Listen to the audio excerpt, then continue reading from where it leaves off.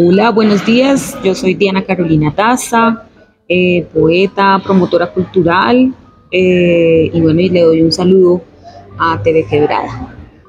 La poesía sirve para vivir de una manera particular, sirve para cantar, eh, la poesía sirve para abrazarnos desde diferentes latitudes y sirve para, para intentar tener herramientas que que hagan una mejor humanidad, una mejor sociedad. Piedra de Toque Editorial ya tiene 14 años eh, trabajando por visibilizar a los autores y las autoras de corte emergente, aquellas voces que todavía, digamos que no tienen como una trayectoria, como un reconocimiento y requieren de un libro para abrir puertas. Em, vienen cosas interesantes para este año. Eh, una de ellas, nuestro primer libro con autor internacional, eh, que es el poeta Roberto Reséndiz, eh, pero igual digamos que cada uno de los autores y las autoras que han estado hasta el momento eh, han tenido un lugar muy, muy especial y sobre todo hemos servido para lo que decía al, comienzo, ¿no? Ser ese objetivo que visibiliza estos trabajos que seguramente van a seguir abriendo camino y encontrando también otros lugares. Eh, mis libros. Bueno, el primer eh, ejercicio de publicación eh, que trajo de hecho la idea de Piedra de Toque Editorial se tituló El nacimiento de la gargoleana, un texto de, largo aliento, pretendía ser como un texto de una única voz, Em, que lo, publiqué yo de hecho y fue como, como el ejercicio con el que arranqué como en todo esto de presentar el, el, trabajo y de compartirlo con los demás, que es como otro, otra parte también del proceso de la escritura. Em, luego también tuve la posibilidad de participar en una creación colectiva, se llamaba, eh, se llama Domingo Vendedor de Globos, con un taller eh, donde armamos, digamos, un grupito interesante con gente de diferentes lugares de Latinoamérica. Eh, luego llega con la editorial Épica, bajo el sello de la editorial Épica, eh, editorial también independiente, El Azul de las Cosas, que creo que empezó también a dar eh, un poco más de madurez a la voz de, de, esta mujer que está aquí compartiendo hoy esto con ustedes. El azul de las cosas. Em, viene también este, este libro, que bueno, es como un ejercicio eh, independiente a la poesía que he realizado, que es un libro de relatos para niños y niñas y adultos que tengan muy despierto su niño interior, que se llama Hay un gato en el espejo, em, que comparto con gran alegría con, con ilustraciones, dibujos a lápiz también de Carlos Chaparro, nuestro amigo eh, ausente pero muy presente, en este caso con estos, con estos gatos. Y bueno, y tengo un libro por ahí que, que, que espero que salga muy pronto, es el que he estado trabajando durante los últimos años, también fue atravesado o es atravesado por la pandemia, eh, que sigue manteniendo como una voz sin quererlo, no como una presencia muy femenina, lo he sentido como las veces que he podido compartir los textos, eh, que me agrada. Eh, y bueno, y ahí vamos en esta, en esta producción de libros, porque en la producción de la vida hay otros productos. Eh, la vez pasada estuve en un espacio de la Fundación Casa de Hierro donde estábamos hablando sobre editoriales de poesía y surgía algo, algo parecido a lo que me, a lo que me preguntas, ¿no? Y, y ese día dije una respuesta que creo que la voy a utilizar, porque de hecho no se me ha olvidado, y es uno, porque soy terca por naturaleza.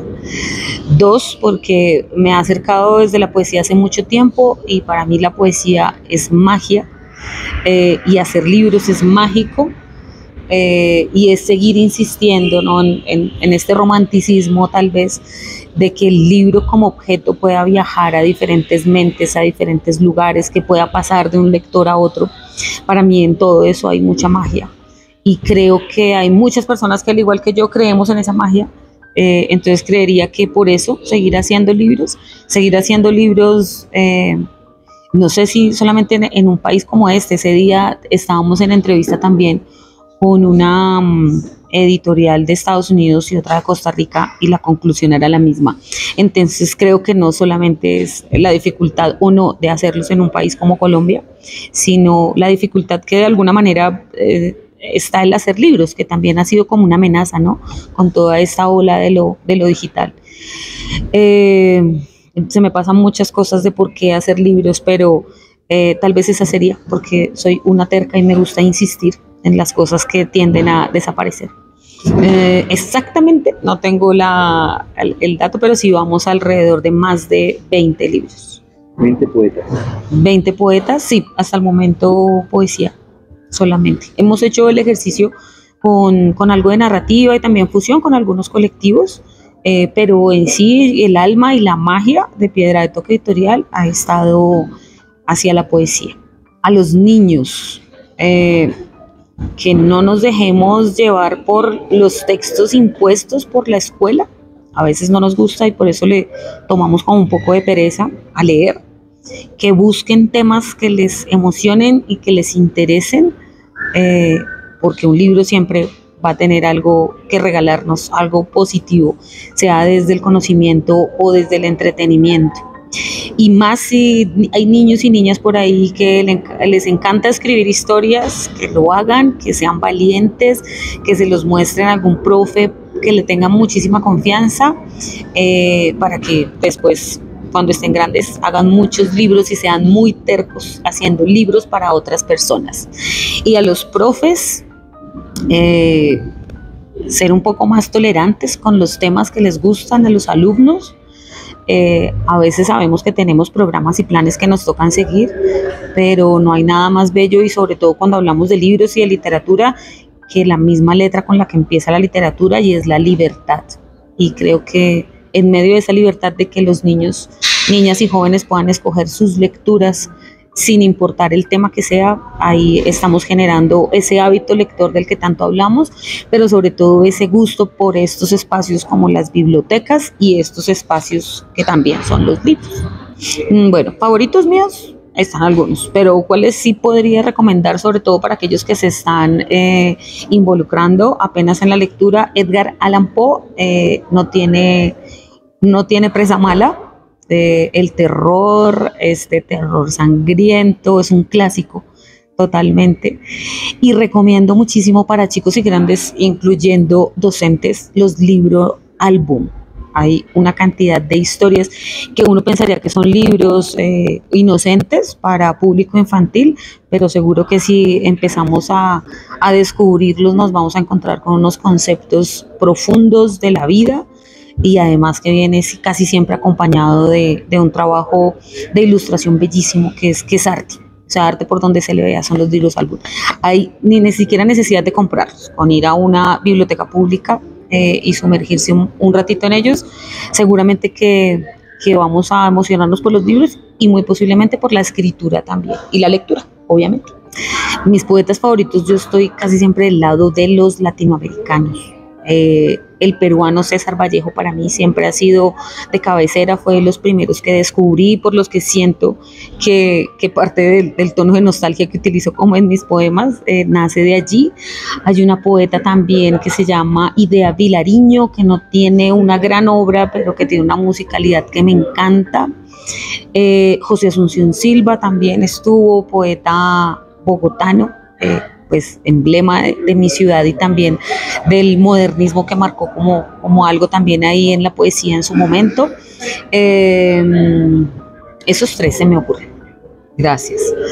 Eh, antes de pandemia, y ahí sí es un antes y un después en, mi, en mis ritos de escritura, eh, digamos que el aire libre para mí es básico.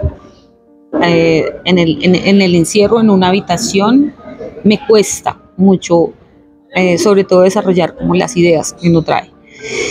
Y antes de pandemia tenía un lugar al aire libre en la, en la Candelaria. Me gusta mucho como esos lugares aislados donde no te conoce mucha gente porque pues así mismo también te puedes permitir de concentrarte y estar como en intimidad, como en ese momento eh, con las obras, con las ideas, como con ese trabajo de reescritura sobre todo. Eh, y luego de pandemia, pues bueno, ya me ha tocado eh, tener um, otras estrategias. En ese momento el vino para mí es un aliado, ha, ha reemplazado un poco, aunque no del todo, el aire libre. Eh, entonces un, un, vinito, un vinito, y, pero sobre todo como la soledad, ¿no? Como, como el silencio pero digo el silencio puede estar escuchando música, puede estar en un lugar con público, pero el silencio como, como solamente como conectada como con la idea. Entonces sería um, el aire libre y la intimidad Y bueno, y ahora porque tocó las malas, el, el vino. Ezra es el tercero de una familia de ocho. Ocho gatos que venían con el inventario de la casa. Sus hermanos fueron encontrando su destino y lo dejaron sin compañeros de juego. Quizás por eso se acostumbró al silencio, ese silencio que se parece tanto al mío. Ezra conoce mis secretos, sabe que oculto las verduras en las cajas de leche vacías, también de mi mala memoria para recordar las capitales y los ríos y de la falta que me hace papá.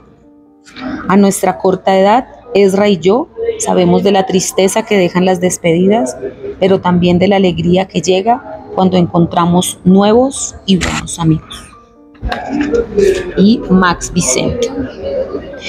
La mano dibuja un ojo de gato al tiempo que la mente intenta darle forma a una boca negra que se parece a la pupila del ojo y al expandirse se traga los lugares que solíamos habitar. Busco los colores que acompañen el contorno del ojo, elijo una gama de verdes con un poco de color tierra, triste, tierra de muerte o tierra fértil para una nueva siembra. Es hora de dormir, el ojo no aguanta la ausencia de luz y se cierra, la mano se cansa mientras la mente insiste en seguir dibujando esa boca negra y todo lo que desaparece en ella. La vida de los padres de algunos amigos, los encuentros nocturnos con sus abrazos quebrados, los amores de película y su final feliz. Quizás en el sueño el ojo de gato permanezca abierto eternamente, pues la mano que lo dibuja nunca duerme y la mente en reposo descubra que el color tierra, guardián del ojo, no es de muerte, y que la boca negra era la entrada a un camino de estrellas que nadie alcanzó a ver.